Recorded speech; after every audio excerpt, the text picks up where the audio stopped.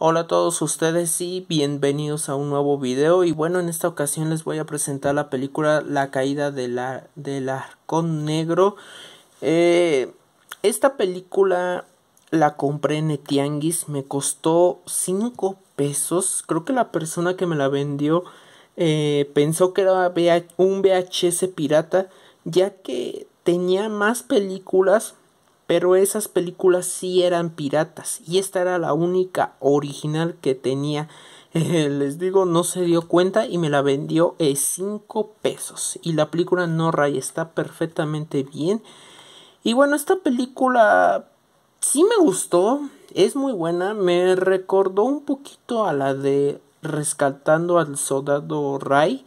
O sea, es casi algo así parecido, por lo de la guerra. Esta película la recomiendo también, es muy buena, también la conseguí, como les digo, en, eh, como les digo, en Tianguis, pero está también en muy buen estado, eso es lo que a mí me gustó. Esta película es de Colombia Pichus y dice aquí que incluye avances publicitarios, eh, de hecho sí, sí tiene avances, tiene como unos 5 minutos, algo así.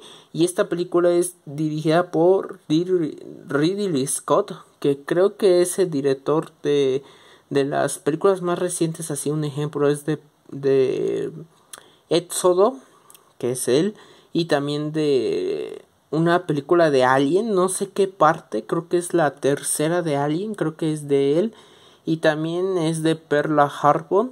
Así que bueno, pues que les digo, y de Ok, abrimos y tenemos aquí el VHS en muy buenas condiciones. Lo voy a sacar y aquí está. Eh, vaya que a mí me sorprendió porque se ve muy bien este VHS y aquí está que sí es original, tiene la fecha, eh, tinta blanca y aquí está. Con una duración de dos horas casi y media esta película, muy buena.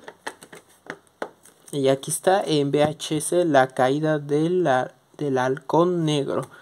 Eh, formato VHS que me costó 5 pesos. Muy buena película. También se las recomiendo. Si tienen la oportunidad de verla o de tenerla en sus manos, aprovechen porque esta película vale la pena. Muy bien, yo me despido de todos ustedes, cuídense mucho y nos veremos en un nuevo video. Adiós.